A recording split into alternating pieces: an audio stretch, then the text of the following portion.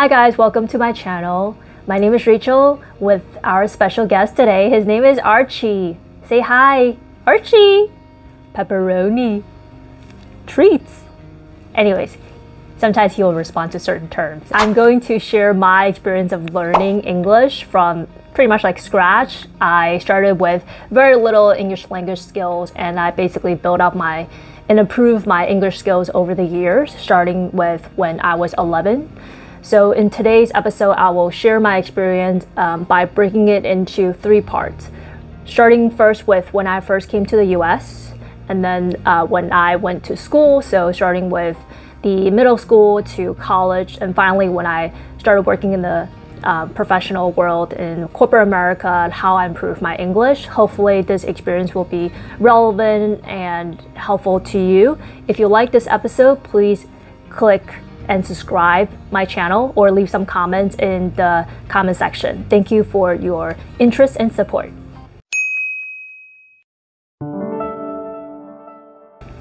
I was born in China and I came to the US when I was 11. I only took one year of English class when I was in elementary school in China and basically learned the alphabet and very basic terms such as different colors, how to say hi, how are you, where's the bathroom, but that was pretty much it. When I came to the US and immigrated to the States, I took very little amount of vocabularies with me here, so I have to kind of start from the basics. Uh, I didn't take any uh, tutorial or um, tutoring classes. I stayed home and my mom gave me a list of words to memorize. That's how I started my journey of building my English vocabularies. And I want to emphasize that it's very important for you to learn English. You have to memorize or learn the vocabularies in a very consistent way.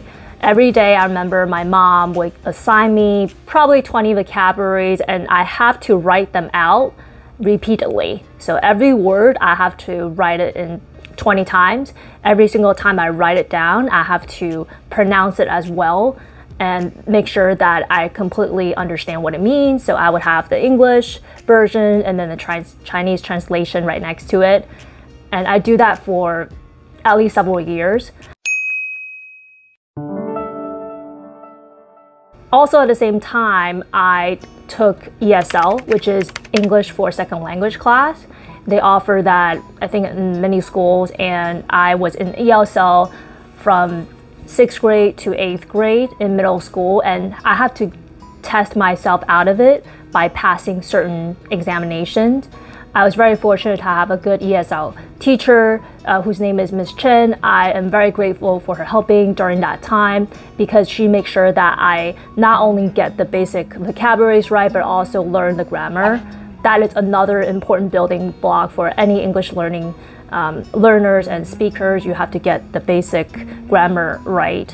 And during that time, I also started to pick up the interest and hobby of reading because I lived pretty close to the Brooklyn Public Library. I remember I would go to Brooklyn Public Library pretty much every day after class. I would pick up some fiction books. At the time, I really enjoyed reading Full House and really like to watch cartoon shows. My favorites was Sesame Street at the time. I loved Elmo's World.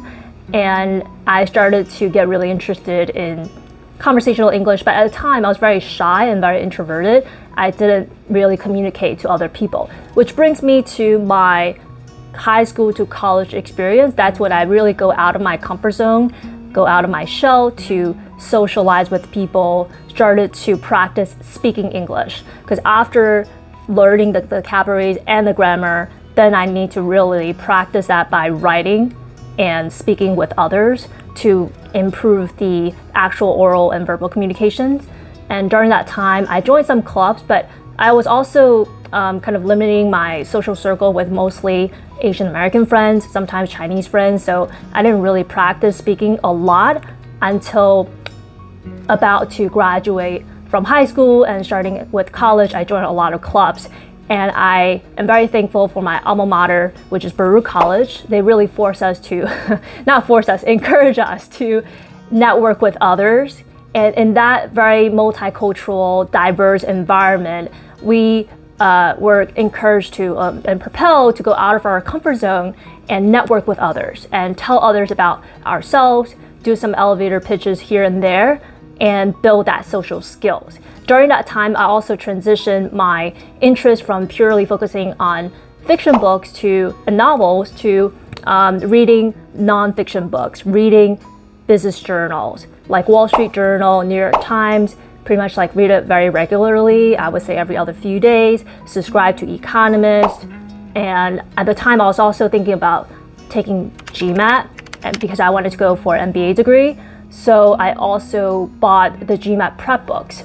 That proved to be a very good investment, even though eventually I decided not to um, apply for business schools because GMAT really makes sure that you uh, master the basic English grammar. Um, I remember there's a SC section, forgot what it stands for, sentence correction, I believe, where you have to basically look up like a sentence and figure out where it's wrong grammatically speaking and pick the right choice. And that took me a while to figure out uh, what, what's the right sentence structure. I think it even tripped like people who are native speakers. That experience proved to be very valuable when I started working in corporate America. You have to be able to write well, and especially for certain careers like marketing, you have to be able to um, sometimes edit the work by professional writers and make sure that it's grammatically correct. Because one of my previous jobs was actually in content marketing, I found it tremendously helpful to have some GMAT prep background, knowing the good um, SC like sentence correction um, rules, and I also picked up some really good writing books, which I'll put in the description section. One of which is called um, On Writing Well, and there's also things like um, the the elements of style, really classic, great uh, books on English grammar that I highly encourage people to pick up. Another important experience that really changed my life was finding out about this organization called Toastmasters. So, Toastmasters is a worldwide organization in which you actually join to become a member in order to practice your public speaking skills. I was very shy, like I mentioned, and I was very afraid of public speaking, like many people, not just um, English for beginners, but at the time I was afraid of speaking in front of a huge audience because I found myself either completely go blank or I stutter a lot. I get really nervous. You can hear me when my voice kind of tremble. Um, and the Toastmaster experience really trained me to stay calm and composed when speaking to a group of people. I think Toastmaster is a great investment. They're not sponsored for this video. I highly encourage you to join um, I want to bring all those experiences together. So, like I mentioned, if you're a beginner to English, you have to learn a lot of vocabularies. In order to speak well, you need to have some foundation of vocabularies to tap into in order to express yourself um, fluently and articulately. At the same time, you also need to write um, in a way that is grammatically or somewhat grammatically correct especially in the workplace because they pick that up. I think there are tools out there like Grammarly that would autocorrect your grammatical errors for you, but it's good to learn the basics. So check out the books I recommended below. At the same time, don't be shy and push yourself, challenge yourself to constantly speak with others. Some tips here, which is when I was learning English, especially in terms of pronunciation, I know a lot of the uh, non-native speakers are afraid of accent you could probably pick up my accents here and there, even though um, I came here when I was kind of little, but I still have accents. And I think accents are fine as long as people can hear you. And I try to be very self aware of my accents and try to correct it when I pick it up. So, what I do is sometimes when I read books, I read out loud to myself. Um, another thing you might notice is I really encourage people to practice as much as possible in private or with a group of people who are open and accepting to your flaws because we all have flaws. No one's perfect. E even native speakers, they also have grammatical errors. But I think if you do that with a small group of people who are accepting of your flaws, then you will feel more encouraged to do that more often. In which case Toastmasters encourage you to give people constructive feedback with both positive and room for improvement remarks on my own in private. I also practice speaking a lot. Sometimes journaling, uh, writing is good. I also uh, read out loud to myself when I get a business book. I practice reading every single word and I will check the dictionary if I don't recognize certain terms so that way I can learn new vocabularies as well. As I'm practicing speaking uh, out loud, I would notice that there are certain ways or terms that trip me up. Then I could figure out what's the best way to pronounce that term, and that's how I basically learn English.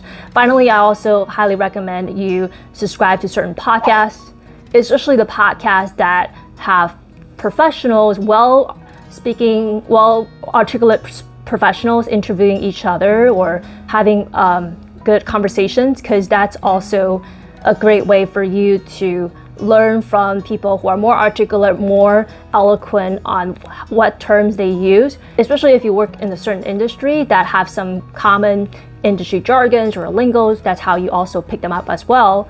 So you can speak like you work in that industry. Um, so basically, all in all, these are all the tips I have for you. Leave some questions or comments below if you want to learn more about certain topics, and I appreciate your time and interest.